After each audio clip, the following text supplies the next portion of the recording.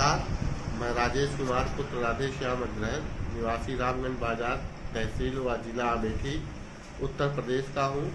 मैं firm Tirupati Balaji traders का firm स्वामी हूँ।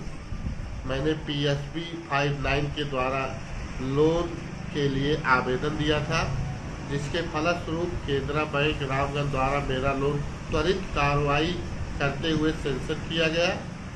जिसके लिए मैं भारत के प्रधानमंत्री नरेंद्र मोदी जी व बैंक मैनेजर अभिषेक कुमार का शुक्रिया अदा करता हूँ।